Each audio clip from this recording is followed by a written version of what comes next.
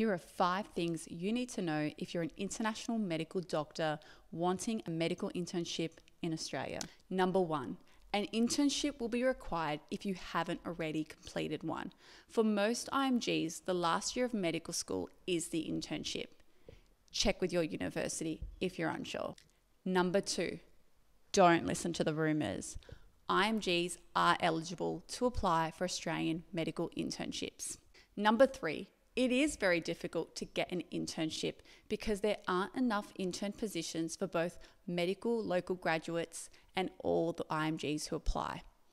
Unlike PGY2 and above junior doctor jobs, there are plenty. Number four, local medical graduates and international students who studied in an Australian medical school are given priority over IMGs, making your chances of getting an internship, yes, a lot lower. Number five, at the very least, you need AMC 1 and a valid English test to apply for a medical internship, just like any other job. If you want to know more about medical internships in Australia, then head over to Code You Australia's YouTube channel and watch our entire podcast on this topic.